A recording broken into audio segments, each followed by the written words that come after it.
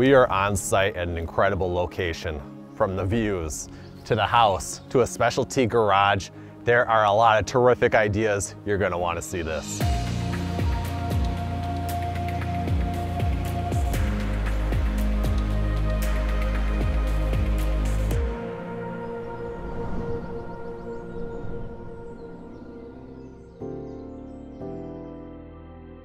It's great to have a large foyer area, perfect for a bench. And there's even a powder room right around the corner, but let's get started in this kitchen. This is a terrific place, great for gathering with an island with seating around it. We've got a bit of a contrast to this island. It's designed to be more like a furniture piece. That was very intentional by the homeowner. We see some flush toe kick there, some furniture molding legs, We've got a lighter color than what we have on the perimeter. Now both of these are the same wood species, both being rustic alder, but this has a green glaze to the stain. That stain still offers you the depth and seeing the wood and the different colors in the wood with those knots. There's a consistent theme in the cabinetry here. We've got reeded glass, which is vertical, very linear, and we also see that with a beadboard on the doors and drawers. So that's a great continuation right there. There's even beadboard on the back of this cabinet. We see some open shelving continuing that theme from the island. We also have a lot of very consistent heights with the cabinets, perfect for this pantry area over here, as well as the built-in refrigerator. But then we're increasing the height for the range hood, which offers more of a distinctive appearance. This is an L-shaped kitchen, which was intentionally designed not only to have a big window with a view heading out that direction, but also access to the screen porch. That screen porch has some similarities to the kitchen when it comes to the overall layout. Not only is the footprint similar, but also the vaulted ceiling with great big log purlins spanning the distance. Each of those purlins are equally separated within the space, coming down onto the log support beams. These beams are placed in a way where we still have plenty of walking distance between each of them. Now we mentioned the screen porch. This is not a regular screen porch. Not only does it have those vaulted ceilings, which adds a lot of great volume, but we also have great big logs framing out the porch, allowing for us to have great views of the lake as well as the rest of the property. There is terrific airflow in here. It is certainly a great spot to have friends over.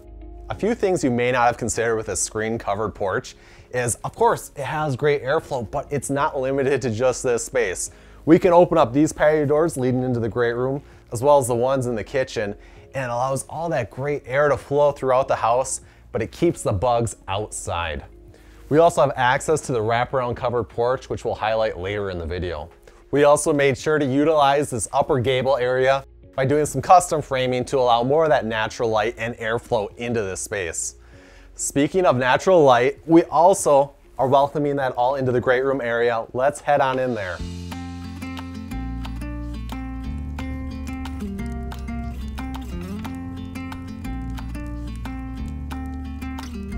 There were a couple of intentional design decisions in this great room area. First of all, it was important to have a lot of windows and a flat wall going all the way across rather than a prow wall. They also wanted to make sure that they had a fireplace right at the center of the home and the TV was not mounted above the fireplace, which is why we've dedicated this area over here for what is a massive TV and then also two great tall windows flanking each side of it. So with the windows on this side, as well as all the windows over here, we've got natural light coming in from three directions. And then with the huge windows up in the loft above, we've got a great balance of light from the other side of the home as well. Above me is a seven foot diameter chandelier. It's putting off a beautiful soft glow of lighting, really lighting up that ceiling, as well as the spotlights that we have around the perimeter of this great room. With Pella windows and doors, we're able to custom configure any size unit that the homeowner wants. But what was important was to leave room for our massive log trim. So that's why you want to design this all at one place where we made sure that all this trim fits and the patio doors and the windows were designed to fit perfectly. Elements in this home like that massive trim correlate well with the big timber flare bottom post. We see it on the corner over here as well as both of these. When I say flare bottom, it's an exposed root bottom. We'll see that on the exterior of the home as well when we get over there. We've got a bedroom suite right over here, perfect for the guests. They even have a full guest bathroom. When designing a bedroom suite, it is common to have an accent wall, which this 10-inch hand-peeled log effectively serves the purpose of, whereas the rest of the walls in the room are a pre-finished tongue and groove planking, just like we see on the ceiling. This bathroom has a great dynamic of different tile work as well as the log wall finish. We also see the concept of it being a guest bathroom continued through by utilizing a pedestal sink rather than a cabinet itself. Oftentimes, a guest wouldn't store items inside the cabinet, which is why having open shelving is a perfect design choice for this bathroom. Oftentimes, that bathroom is only for when guests come to stay. We've got a powder room right around the corner here. Not only is there a coat closet, but this powder room is easily accessible. What I like about it too is that it's not open to the public area, to the main spaces where everyone would be congregating.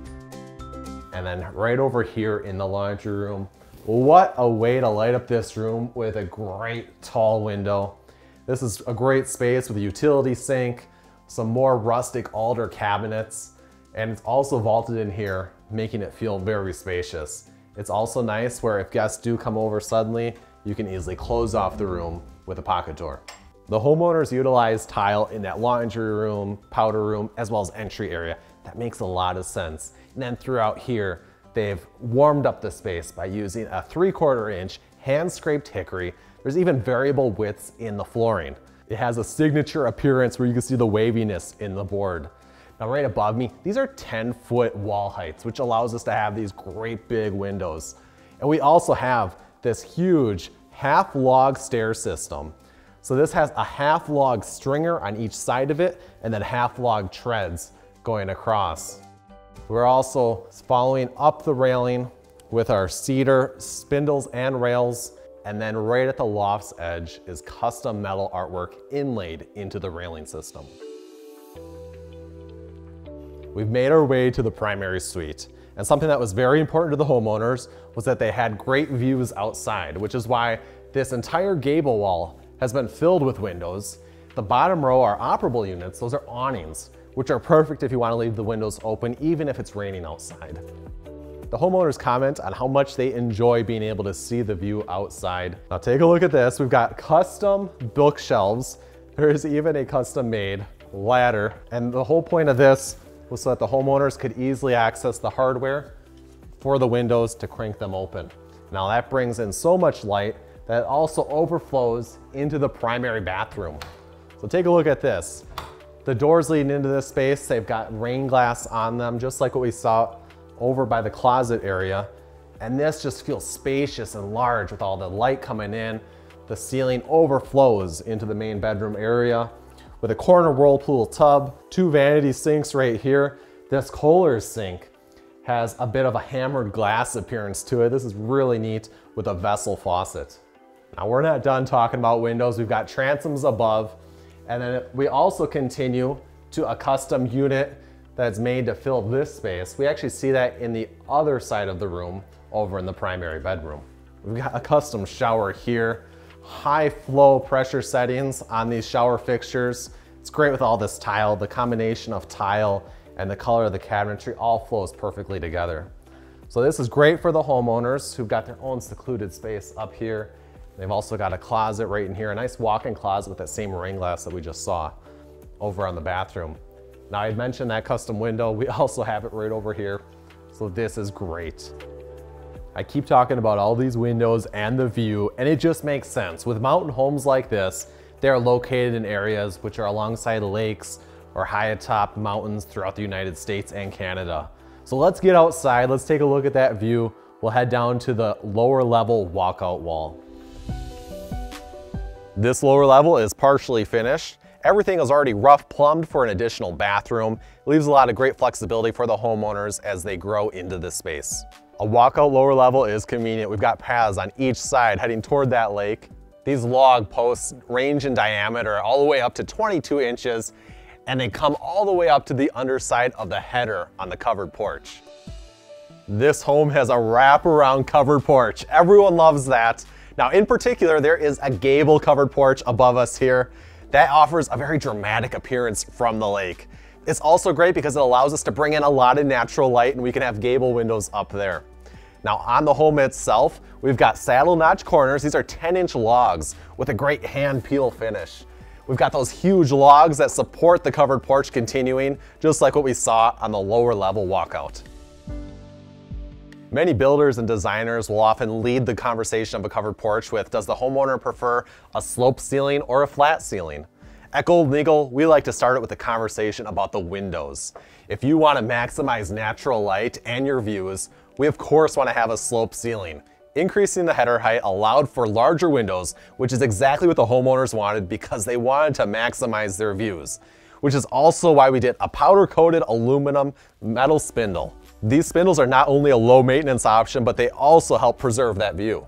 Now, speaking of low maintenance, you may not recognize it, but the stain applied to this home is one of our high performance stains. This one has more of a satin finish to it, whereas many of the homes have a gloss finish. A satin finish offers more of a rustic, elegant charm. I love this portico. Not only is it a very distinguishing element in this home, but it's also very practical. Of course, depending on the weather, you're gonna wanna pull in underneath the portico. It's also very convenient to unload groceries right here and have the kitchen nearby. Now, when you approach the portico, there is no question as to where the front door is. Take a look at this. This is awesome. The front door has flared posts trimming it out. Those flares are a distinguishing feature of this front door. It's a perfect way to encase a door as grand as this.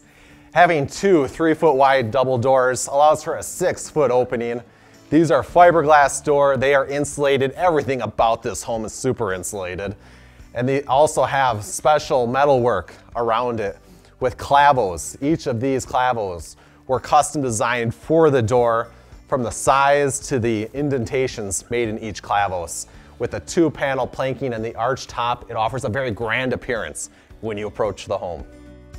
On an ultimate log home like this, everything is large in size.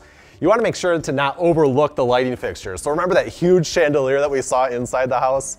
Well, it's also important to make sure that these lighting accents around the home, these wall sconces, that those are oversized as well. That way they don't get lost in all of this larger material from the log to the stone. Now take a look at all the wall sconces over here on this accessory garage because this is far more than a garage. There's a lot to see in here, but let's stick to the outside first, then we'll show you what's inside. When the homeowners met with our designers, they said they absolutely did not want an attached garage. It was more important to them to have a separate garage because it would more naturally fit the property. And secondly, they wanted to look as good as the house looks. And we can see that with a continuation of the same wall finishes that we have on the exterior of the home. They've also been applied to the garage. These are super insulated garage doors with that same metal work that we just saw on the front door. How great is that, that that continues through. They're also color matched to match the front door as well. Now, when you look at these big timbers that span the primary garage door here, this offers a very dramatic appearance as well. You may have seen this on a few of our other builds. The homeowners oftentimes would collect great ideas when they were in that planning stage and they'd send them to us. It's a collection of all those great ideas that make this home one of a kind, and I think that is a terrific feature. We typically prefer to have three different textures on the exterior of the home. The homeowners applied cedar sawn shakes to the gables up there, adding a third texture, a very new element to the home, which contrasts with the stain that we see on the window trim. It's perfect for a space like that where we don't have a lot of wall finish, smaller material like that nicely fills it up and adds a lot of interest. We also have wood soffits and fascia. Soffit and fascia offers a warm embrace in the evening time, and when it's midday like this, you can see the depth of the textures in the wood. And here we are inside of the accessory garage. This is one heck of a place. In contrast to the home, which was very much a traditional log home, the garage has our exposed beam elements Using metal brackets is perfect for the industrial theme that we have in a garage like this. Right below me, we've got a huge floor drain spanning the entire garage. Of course, these finished floors are tapering to that drain. Behind me, we've got the Ferrari. We've got windows up in the gables on each side of the garage. And of course, we've got a ton of natural light pouring in on the front of the garage with the main gable as well as each of the dormers. Drywall is a terrific choice for a space like this where all of our natural light is coming in from above. That's bouncing around a lot of light inside here. Having wood on the ceilings elevates the space to be much more than just a garage. This is a great flexible space for hosting and so much more. You may have noticed a lot of tech around the home with the security cameras. We also have internet out here. The TV is hooked up. We've got a sound system. And of course, when you're building a brand new home, you want to make sure that's future proof, which is why there are chargers for electric vehicles. Comment below and let us know what are some of your favorite ideas. We'll be on site at a new location soon, so be sure to subscribe. You won't want to miss that.